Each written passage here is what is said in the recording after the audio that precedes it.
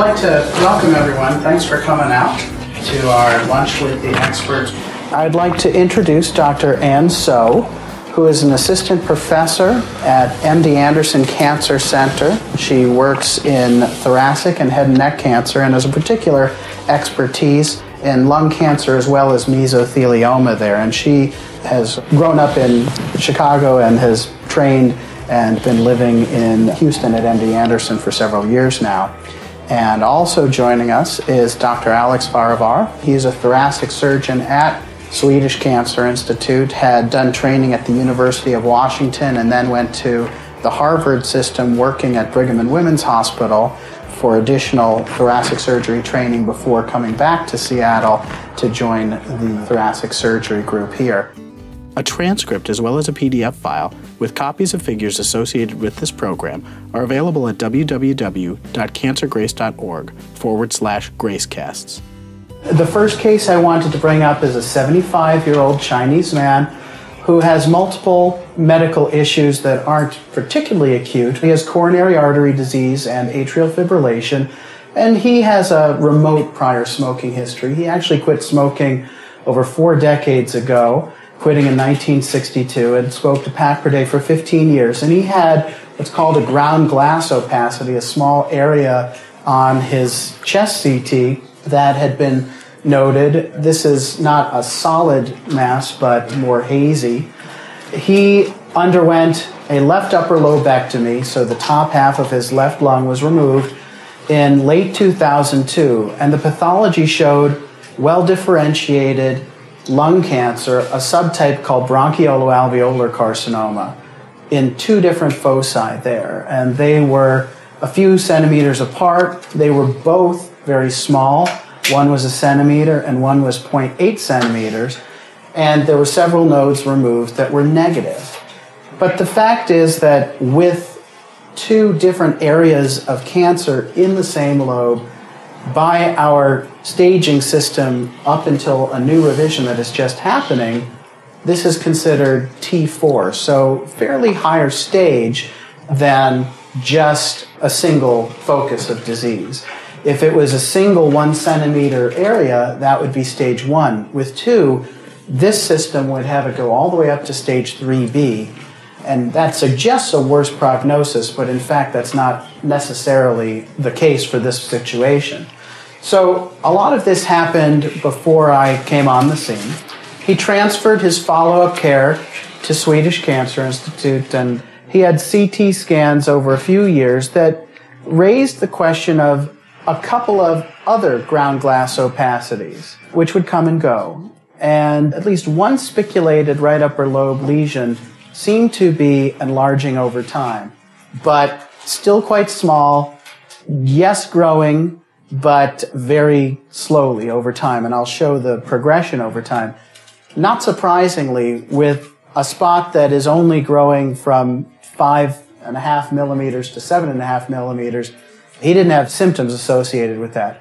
And his lung function, and that's listed here at the bottom with FEV1, is what's called a pulmonary function test, showing that his lung function was good enough to be considered for additional surgery.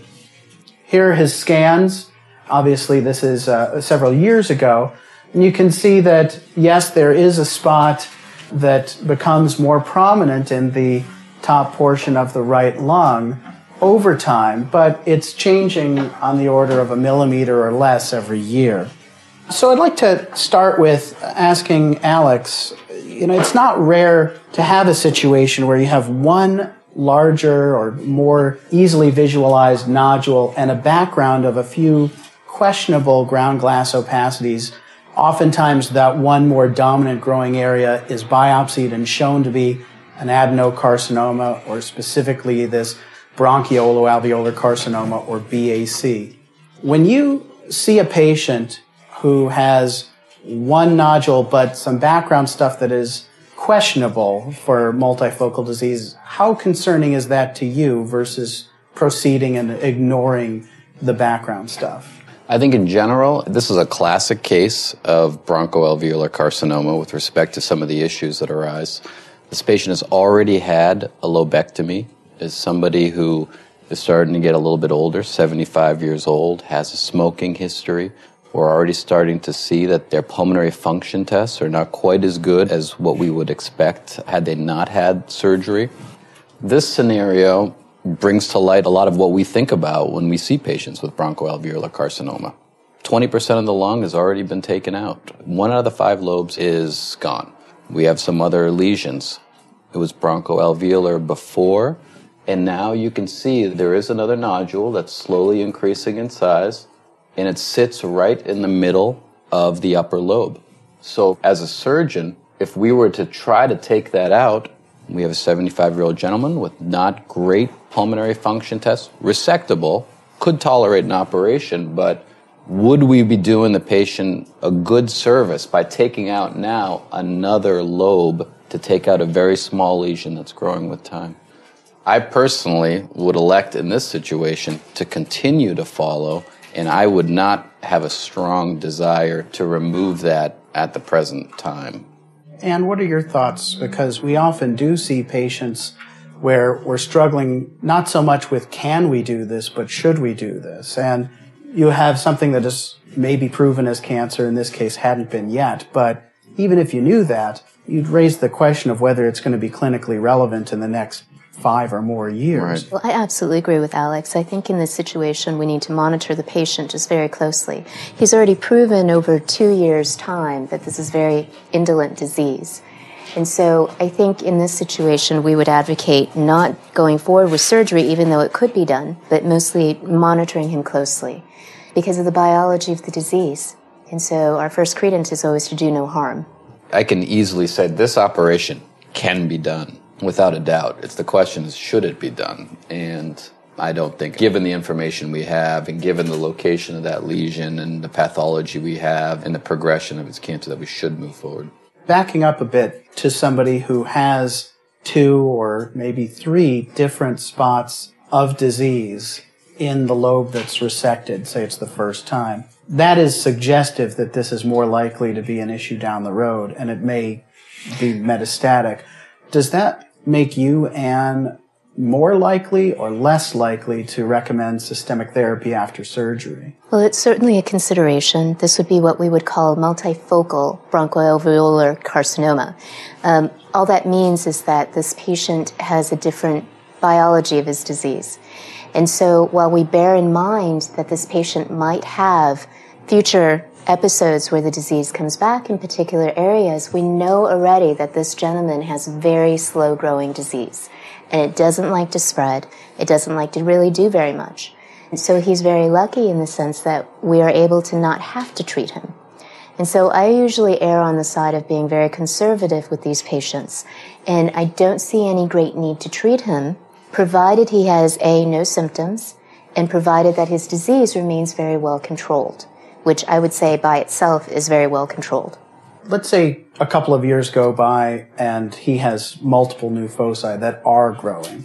What would you be inclined to recommend for systemic therapy? Mm-hmm. Would you say chemotherapy in a gentleman who is an Asian remote prior smoker?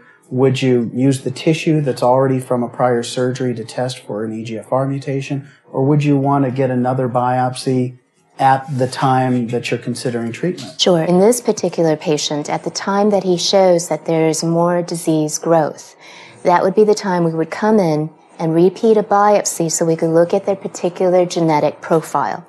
And if they are carrying a mutation in something called the epidermal growth factor receptor gene or EGFR, this definitely would be someone I would treat with a pill called erlotinib or Tarceva. This pill has been shown in patients who carry this mutation to actually have incredible benefit for the patients. And this patient may be fortunate enough to be on a pill for a couple of years. Would you be inclined to suggest or recommend that pill therapy if you did not have mutation testing available? I think that that is a difficult issue because practicality versus what we should technically do are very different here. Technically, we should get an EGFR mutation test if this is in a patient who has not had prior chemotherapy. However, the practical nature is it's very hard to do repeat core biopsies on our patients, especially in the lung, and there are certain complications that could occur. I would prefer to see an EGFR mutation status on the tissue for any patient, period. However, there are some patients that are more likely to carry this mutation. Those would be patients who have adenocarcinoma histology, those who are Asian, women, and these are all patients who usually have never smoking history or less than 15 pack year smoking history. That's not to say though that a man who has a 20 pack year smoking history couldn't carry the mutation. They could, provided they have an adenocarcinoma histology. If a patient had all the clinical hallmarks that make them more likely to carry the mutation. And I absolutely could not get any tumor tissue on them. Sometimes, on a practical side, you might want to go ahead and treat them with the Tarceva, but you have to follow them very closely. You have to see them at four weeks and make sure that the drug is working. Because if the drug is not working, you need to immediately put that patient onto chemotherapy. Now, there could also be an argument said that in those patients where you can't get the EGFR mutation, you should automatically go to chemotherapy and then sequence them and give them an EGFR inhibitor later. I don't think that we know the answer to that. Right now, either which way, I think would be clinically acceptable for the treatment of the patients. This is an old look at what PET scans would show several years ago, and not surprisingly, the PET uptake was not even perceptible, very low. He actually had undergone a VATS wedge resection, so a video assisted thoracic surgery, and a wedge resection, which is less than a full lobectomy. And he had some modest complications with some atrial fibrillation. He was in the ICU for a little while, but he recovered from that and did not have a big surgery where they took out lymph nodes, but did have an 8 millimeter well differentiated BAC. Alex, in general, whether it's the first surgery or a subsequent surgery, how do you feel about a lobectomy versus a sublobectomy, a wedge resection or a segment in this situation for, say, a one centimeter well differentiated BAC? If I knew the pathology and the pathology clearly told me that it was a BAC I would have absolutely zero reservations doing a sublobectomy operation. I do not think BACs need to have an anatomic resection. In fact, I think it's preferable to preserve as much lung as you can for this exact reason. If additional lesions come up over the course of several years, you don't want to have already taken out more lung than the patient's going to be able to tolerate in the future and require oxygen and have difficulty with their breathing. So that assumes that we know it's BAC. And if we do, then I'm comfortable doing less than a lobectomy. If I could add, one of the new technologies that's under development is stereotactic radiosurgery, which, you know, not to detract from our surgeons, but that is a possibility to try to spare lung tissue in patients that may not be the best surgical candidates also.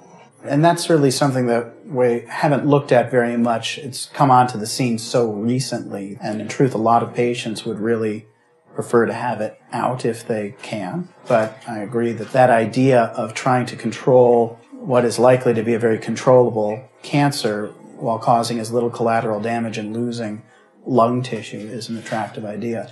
And the idea behind the sublobectomy, can you talk about what evidence there is in Japan or the United States to support the concept? We've found that BACs tend to recur with time there have been certain classification systems that have been developed, in particular the Noguchi classification system.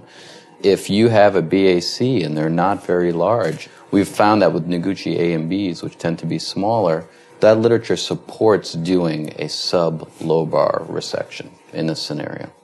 And a little different situation, but let's say you have somebody who has a four and a half centimeter BAC with some solid component. And it's not majority invasive, but there's some invasive adenocarcinoma and a lot of non-invasive BAC, which is a common mm-hmm. situation that it's not pure, mm-hmm. but a mixture of some invasive and some non-invasive. Does that make you less inclined to suggest adjuvant chemotherapy postoperatively to reduce the risk of the cancer, either because you think it's less likely to recur than other cancers, or because it's not as likely to respond to chemo as a BAC? BAC is tough because it's usually less than 3% of all lung cancers, so it tends to be a little bit more rare. We understand now that there's a wide spectrum of BAC. That's why there's so many classification systems that have been created for it. If one had a primarily invasive adenocarcinoma component. That is a little bit more of an aggressive phenotype than just a pure BAC. And in those patients, I would be more inclined to treat them as if they were a pure adenocarcinoma patient.